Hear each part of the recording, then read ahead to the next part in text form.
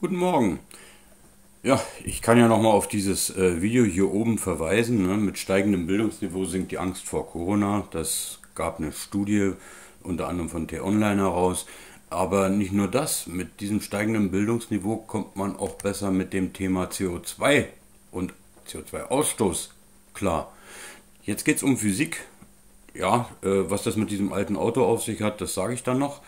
Ähm, ist ein schönes Auto. Fährt 105 km/h. Ich habe es ausprobiert. Naja, gut, aber da komme ich dann drauf. Kommen wir mal auf, dieses, äh, auf diesen CO2-Ausstoß und da habe ich mal bei Wikipedia äh, mir allerlei äh, Daten vom VW Polo oder Mercedes oder alles solchen Autos herausgesucht. Schauen wir uns erstmal die Leistung an. Es gibt verschiedene Leistungsklassen, 48 Kilowatt, 55 bis 110 Kilowatt und so weiter. Also wir konzentrieren uns jetzt erstmal auf die linkere Seite. Ähm, und da haben wir einen Kraftstoffverbrauch so knapp unter 5 Liter.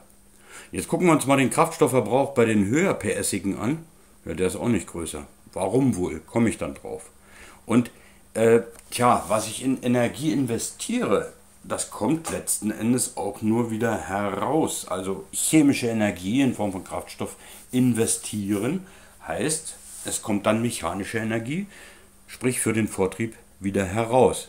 Wenn ich also bestimmte, für bestimmte Geschwindigkeiten und so wird ja dieser Drittelmix Kraftstoffverbrauch kombiniert errechnet, der wird ja für alle Autos gleich errechnet.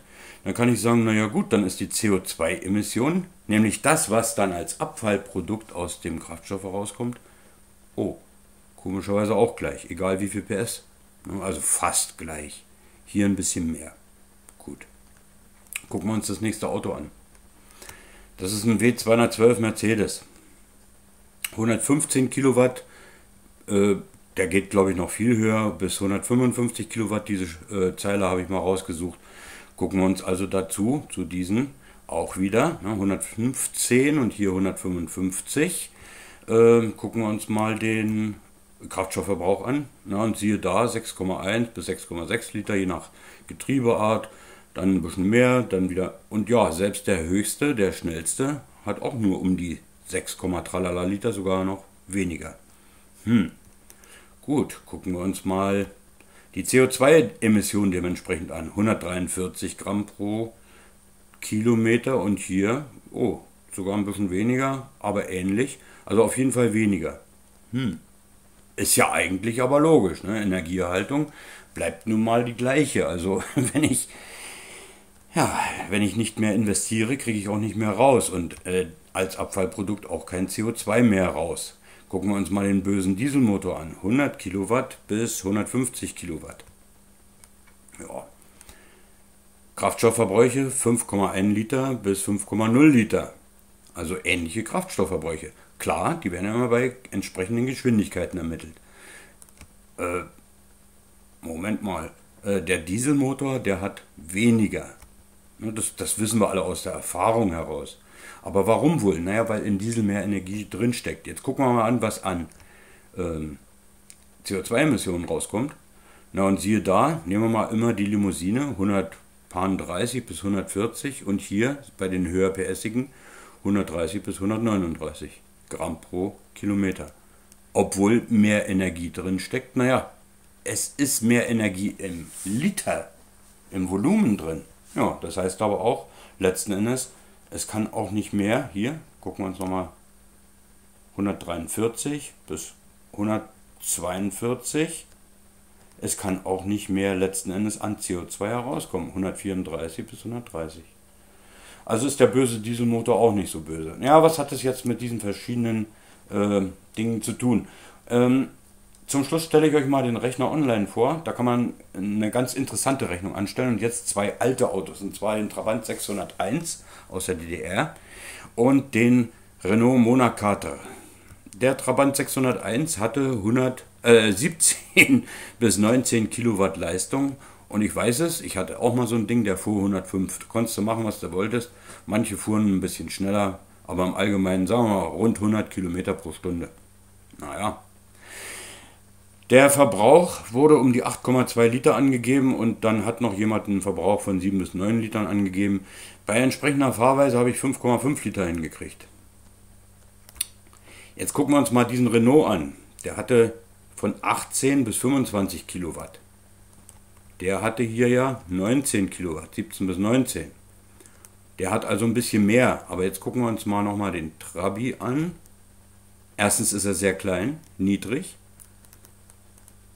Und der Renault ist ziemlich hoch. Also wenn ich daneben stehe, ja, gucke ich aufs Dach, aber das ist es dann schon. Hier, das ist er. So, und der mit seinen vielen PS hatte es nur auf, ja, auch ähnliche Geschwindigkeiten, nämlich 100, 105 Kilometer pro Stunde gebracht. Hm, jetzt habe ich keine CO2-Ausstoßwerte, aber wir können uns ja ungefähr vorstellen, was das bedeutet. Gucken wir uns mal kurz die Formeln und die Berechnungsgrundlagen der ganzen Sache an. Das Wichtigste an einem Auto ist tatsächlich ja, der Luftwiderstand. Und die Kraft, die die Luft ausübt auf das Auto, die Gegenkraft sozusagen, ist ein bestimmter Widerstandsbeiwert. Der ist sehr abhängig von der Form. Hier ist es eine Flunder bei diesem Porsche. Und wenn ich mir den nochmal angucke, das ist eine Schrankwand. Ne? Eine alte Schrankwand, naja, längs gestellt, sagen wir mal, aber furchtbar eckig. Und da macht auch nichts, dass der Kühlergrill ein kleines bisschen aerodynamischer aussieht. Das ist vollkommen egal. Ähm, ja, Luftwiderstand ist also, setzt sich aus dem sogenannten CW-Wert zusammen, das ist eine dimensionslose Größe, dann die Angriffsfläche, die die Luft hat, die Dichte der Luft und jetzt kommt das Schlimme, ja, die Relativgeschwindigkeit des Gerätes, was sich in der Luft bewegt, aber zum Quadrat. Okay, durch 2 macht den Kohl nicht fett. Ähm, Rollwiderstand natürlich auch, wieder von Reifenbreiten und ähnlichen Sachen abhängig. Steigungswiderstand können wir aber vernachlässigen, weil wenn es um Höchstgeschwindigkeiten geht, genauso wie bei Beschleunigungswiderstand, geht es ja darum, dass wir den in der Ebene ermitteln. Sodass sich also die, äh, der Fahrwiderstand insgesamt aus dem Luftwiderstand, dem Rollwiderstand, Steigwiderstand und dem Beschleunigungswiderstand zusammensetzt. Jetzt können wir tatsächlich aber sagen, Beschleunigung und Steigung lassen wir weg auf der Ebene, klar. Und der Rollwiderstand, ja, der ist relativ gering. Ich habe mal äh, die Formeln hier mal vergrößert dargestellt. Also kommen wir erst zur pinken Formel. Hier sieht man, möchte ich jetzt nicht alles herleiten, äh, P ist F mal V und da ja V Quadrat schon in dieser Luftwiderstandsformel mit drin steht, wird V Quadrat mal V, V hoch 3. Und das ist das Schlimmste. Und wenn ich mir diesen ganzen äh, anderen Kram hier rausnehme und mal umstelle, also diesen Kram mit Rollwiderstand und so weiter und so fort, das mal rausnehme, dann kann ich sagen, ist die Antriebsleistung, ja, hieran kann ich nichts ändern bei gegebenem Fahrzeug. Hu, abhängig vom Kubik, also V mal V mal V der Geschwindigkeit. Äh, interessanterweise für einen Pkw gilt diese Faustformel daher, diese kubische Gleichung wurde ganz arg vereinfacht. Man sagt einfach 47 Kilometer pro Stunde wird dann V max ergeben, mal der dritten Wurzel aus der Antriebsleistung geteilt durch Kilowatt, also in Kilowatt angegeben. Oh, ich habe mal nachgerechnet, es kommt ganz gut hin. Ähm, ein bisschen faul bin ich auch und für euch aber auch, ähm, damit man es nicht alles mit der Hand ausrechnen muss. Die Seite verlinke ich euch auch. Ich setze also alle Links wieder in die Videobeschreibung. Ähm, ist ein schönes Beispiel, da muss man drei Größen eingeben. Ich habe mal 25 Kilowatt von dem Renault eingegeben und habe gesagt, 100 Kilometer pro Stunde fährt er rund. Ich habe es schön rund gemacht, damit es schön auffällt. Und dann habe ich eingegeben, ich möchte mit dem Ding 200 fahren. Wie viel Leistung brauche ich? da brauche ich 200 Kilowatt. Es ist also mit dem Ding so nicht möglich, es sei denn, man tunt ein bisschen drumrum. Äh, das ist eine einfache Verhältnisgleichung, also die eine, darauf basiert das Ding hier, das ist auch relativ ungenau, aber ausreichend. Ähm, die eine Leistung geteilt durch die zugehörige Geschwindigkeit, aber zum Kubik, ergibt sich dann also die andere Leistung zu der zugehörigen Geschwindigkeit. Ich werde euch das verlinken, aber unterm Strich, Leute, wenn ich mir jetzt das hier nochmal angucke, wo liegt denn der Haken? Der Energieerhaltungssatz bleibt. Und wo liegt der Haken, dass wir unbedingt CO2 einsparen müssen bei den Autos und dass die CO2-abhängig ausstoßmäßig versteuert werden? Ja gut, wenn ich wirklich nach dem CO2-Ausstoß gehe, kann ich getrost sein, dann kann ich mir auch ein größeres Auto kaufen und sogar mit viel PS, denn der Verbrauch ist relativ gleich gegenüber den mit weniger PS. Das gilt für Diesel, das gilt für Benziner, das gilt für jeden Typ. Also auf den Typ bezogen, dann auf den Luftwiderstand kommt es an. Ja, jetzt könnte man sagen, na gut, dann kaufe ich mir einen Porsche am besten, so eine richtige flache Flunder. Ob der dann so alltagstauglich und günstig auch ist in der Unterhaltung, das sei dahingestellt. Ich weiß es, es kann richtig teuer werden, wenn man bei so einem Porsche mal eine Reparatur haben sollte. So, unterm Strich denke ich mal, kann uns das beruhigen. Man kann sich also auch ruhig ein größeres Auto leisten mit größerem Motor, denn alle diese Daten, und das könnt ihr mit jedem Pkw machen, das könnt ihr immer vergleichen, deuten darauf hin, dass es letzten Endes von der gefahrenen Geschwindigkeit abhängt, wie viel CO2 ausgestoßen wird. Denn je höher die Geschwindigkeit, umso viel höher die Leistung, die nötig ist, um diese Geschwindigkeit zu erreichen. Ich hoffe, es gibt mal wieder einen Denkanstoß.